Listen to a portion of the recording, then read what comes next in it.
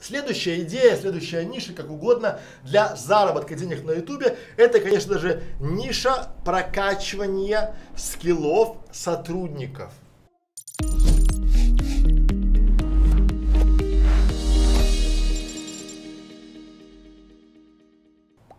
Вот смотрите, давайте я вам на примере скажу, что вот простая аксиома.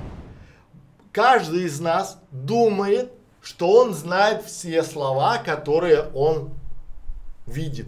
Да? Но по факту получается так, что это уже не мое, а общее такое российское исследование, что более 30 слов мы в бизнес-среде даже не понимаем. То есть мы знаем их, но как они звучат, мы понимаем. А что они обозначают, мы не понимаем.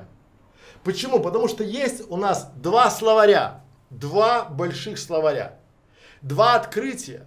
Первый словарь – это толковый словарь, а второй – это словарь иностранных слов. И вы будете удивлены, они оба вот такие вот. Если вы докажете мне, что вы знаете каждое слово, которое там говорится, то я спешу вас разочаровать. Именно поэтому мы сделали канал, который так и называется «Компьютерная грамотность» от А до Я.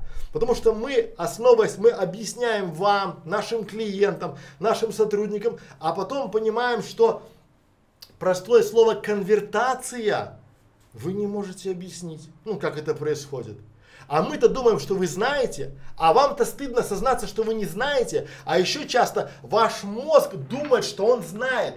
Но это ошибочно. Когда вы понимаете значение слова, только тогда вы понимаете, как это работает.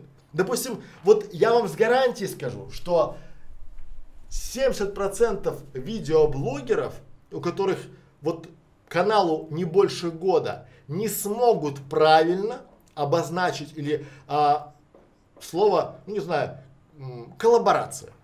Простое слово коллаборация, хотя об этом все знают.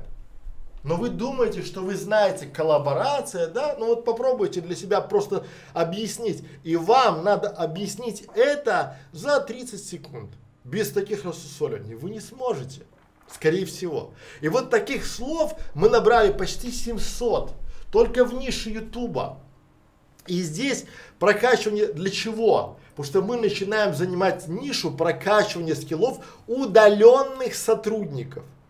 Понимаете? Потому что а, вот Google таблицы, для нас это просто, для вас, наверное, тоже просто, да? Но огромное количество людей, они не знают, что это такое. Хотя рынок диктует свои условия. И если вы начнете прокачивать скиллы сотрудников не своих, а вот чьих-то команд, да, потому что люди, переходя на удаленку, не знают азов. Многие не понимают, как подключить интернет к компьютеру.